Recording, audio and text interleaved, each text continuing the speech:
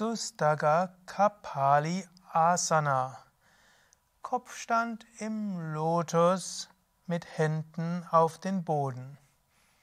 Svenja, Yogalehrerin bei Yoga Vidya, zeigt, wie es geht. Du kommst mit aus dem Fersensitz, gibst du die Hände auf den Boden und du gibst den Kopf nach vorne auf den Boden, sodass ein Dreieck entsteht zwischen Händen und Kopf.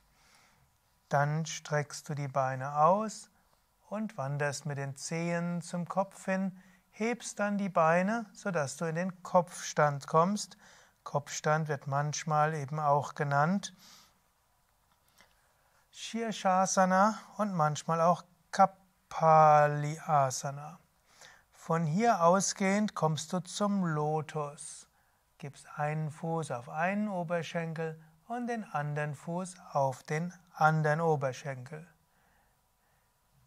Dann gibst du die Knie Richtung Decke, soweit es geht, und hältst die Stellung so lange wie angenehm.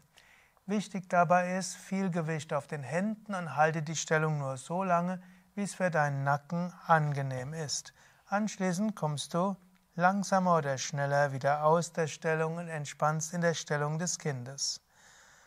Sustaga Kapali Asana ist ein wunderschönes Asana, um Gleichgewicht zu entwickeln und auch eine innere Ruhe. Vermutlich kommt Sustaga Kapali Asana von einem Meister, der Sustaga Kapali hieß. Es gibt jedenfalls einen Meister namens Kapalin, der auch in der Hatha Yoga Pradipika erwähnt wird.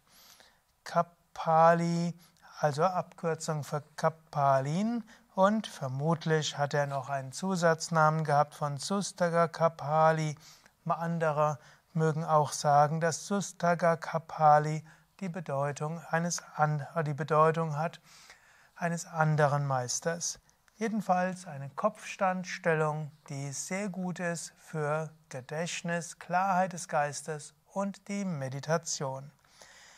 Mehr Informationen über dieses Asana und viele andere, dieses Asana heißt auch Mundasana und viele andere Variationen von Shirshasana Kopfstand findest du auf wiki.yoga-vidya.de